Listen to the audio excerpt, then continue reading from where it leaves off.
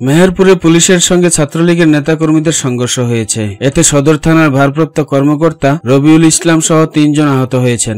এই ঘটনায় জেলা ছাত্রলীগের সভাপতি সহ চারজনকে আটক করা হয়েছে। আজ রোববার বেলা এগারোটার দিকে মেহেরপুর স্টেডিয়াম মাঠে জেলা প্রশাসন আয়োজিত বিজয় দিবসের কুচকাওয়াজ অনুষ্ঠানে এই সংঘর্ষ হয়। এই ঘটনায় ওসি রবিউল ইসলাম ছাড়াও আহত হয়েছেন জেলা পুলিশ লাইনের কনস্টেবল মোহাম্মদ রনি ও মেহেরপুর শহরের ভূমি অফিস পাড়ার স্কুল ছাত্র সুরুজ আলী। এদের মধ্যে ওসিকে প্রাথমিক চিকিৎসা দিয়ে ছেড়ে দেওয়া হয়েছে। রনি ও সুরুজকে মেহেরপুর জেনারেল হাসপাতালে ভর্তি করা হয়েছে। এদিকে আটক ব্যক্তিরা হলেন জেলা ছাত্রলীগের সভাপতি আব্দুস সামাদ বাঁধন, ছাত্রলীগ কর্মী ইব্রাহিম হোসেন, শিশির ও আশিক। মেহেরপুর থানার অতিরিক্ত পুলিশ সুপার শেখ মুস্তাফিজুর রহমান জানান, আজ বেলা এগারোটার দিকে মেহেরপুর স্টেডিয়াম মাঠে জেলা প্রশাসক আয়োজিত বিজয় দিবসের কুচকাওয়াজ অনুষ্ঠান চলছিল। অনুষ্ঠানে ইব্রাহিম হোসেন নামের এক ছাত্রলীগ কর্মী ভূমি অফিস পাড়ার স্কুল ছাত্র সুরুজ আলীকে মারধর করছিল। এ সময় পুলিশ সদস্যরা মারধর থামাতে ছাত্রলীগ কর্মী ইব্রাহিমকে আটক করে। এতে স্টেডিয়ামে উপস্থিত ছাত্রলীগের নেতাকর্মীরা ক্ষিপ্ত হয়ে পুলিশের কাছ থেকে ইব্রাহিমকে ছিনিয়ে নেওয়ার চেষ্টা করে।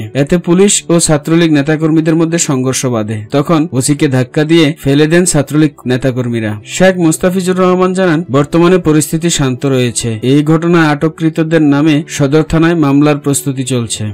এদিকে বাংলাদেশ প্রকৌশল বিশ্ববিদ্যালয়ের শেরে বাংলা হলে সংবাদ সংগ্রহ করতে গিয়ে ছাত্রলীগের মারধর ও হয়রানির শিকার হয়েছেন তিনজন সাংবাদিক। ঢাকা বিশ্ববিদ্যালয়ের এক শিক্ষার্থীকে অপহরণ করে ওই হলে আটকে রাখা হয়েছে এমন খবর পেয়ে সেখানে সংবাদ সংগ্রহে গিয়েছিলেন তারা। গতকাল শনিবার রাতে এ ঘটনা ঘটে, তবে বুয়েট ছাত্রলীগের দাবি সেখানে অপহরণের কোনো ঘটনা ঘটেনি। হামলার শিকার সাংবাদিক তিনজন হলেন দৈনিক জনকণ্ঠের দাবি প্রতিনিধি মুন্তাসির জিহাদ, কালের কণ্ঠের দাবি প্রতিনিধি মেহেদি হাসান ও সারা বাংলা বাংলার দাবি প্রতিনিধি কবির কানন। অভিযুক্তরা হলেন হল উপদপ্তর সম্পাদক আসিফ রহমান মিনার, বিজ্ঞান ও প্রযুক্তি বিষয়ক সম্পাদক এস এম মাহমুদ সেতু, যুগ্ম সম্পাদক নাফিউল আলম ফুজি, প্রচার সম্পাদক নীলাদ্রি নিলয় দাস, সাংগঠনিক সম্পাদক সাজিদ মাহমুদ অয়ন, সহসভাপতি সন্টুর রহমান প্রমুখ। এরা সবাই ছাত্রলীগের সাবেক নেতা। এদের সাথে আরও ছিলেন মেকানিক্যাল বিভাগের অর্ণব চক্রবর্তী সৌমিক, সিভিল ইঞ্জিনিয়ার বিভাগের রাফুন রাজন ঝলক, মেকানিক্যাল বিভাগের Minhajul Islam, naval architect architecture বিভাগের নীলাদ্রি নিলয় দাস,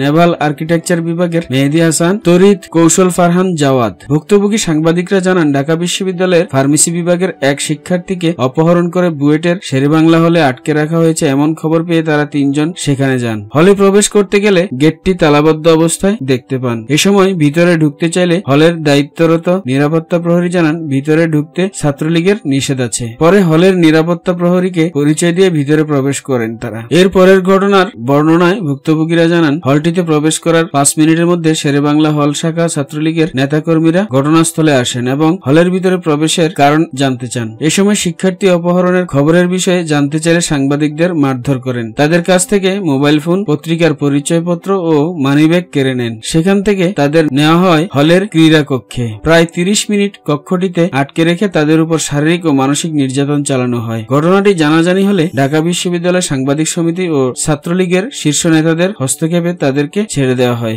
মারধরের বিষয়ে ভুক্তভোগী সাংবাদিক মেহেদি হাসান বলেন, ঢাকা বিশ্ববিদ্যালয়ের এক ছাত্রকে বুয়েটের শেরে বাংলা হলে ছাত্রলীগ নেতাকর্মীরা ধরে নিয়ে গেছে এমন তথ্য পেয়ে সংবাদ সংগ্রহ করতে গিয়েছিলাম। কারণ ঘটনাটির বিষয়ে একজন এক এক রকম তথ্য দিচ্ছিল। হলের ভেতর প্রবেশ করার পর হল শাখা ছাত্রলীগের নেতাকর্মীরা সাংবাদিক পরিচয় পেয়ে মারধর করে। ঘটনার জন্য রাত বারোটার দিকে বুয়েট ছাত্রলীগের সভাপতি খন্দকার জামিউ সানি ও সাধারণ সম্পাদক মেহেদি হাসান রাসেল ঢাকা ঢাকা বিশ্ববিদ্যালয় সাংবাদিক সমিতিতে এসে দুঃখ প্রকাশ করে ক্ষমা চান। কিন্তু অভিযুক্তদের বিরুদ্ধে কোনো ব্যবস্থা নিতে পারবেন না বলে জানান। এ বিষয়ে ঢাকা বিশ্ববিদ্যালয়ের প্রক্টর অধ্যাপক এ কে এম গোলাম রাব্বানি বলেন, বিষয়টি আমি শুনেছি। এটা একটি দুঃখজনক ঘটনা। বিশ্ববিদ্যালয়ের পক্ষ থেকে বুয়েটের শেরে বাংলা হল প্রশাসনকে জানানো হয়েছে। তদন্ত করে ব্যবস্থা নেওয়া হবে।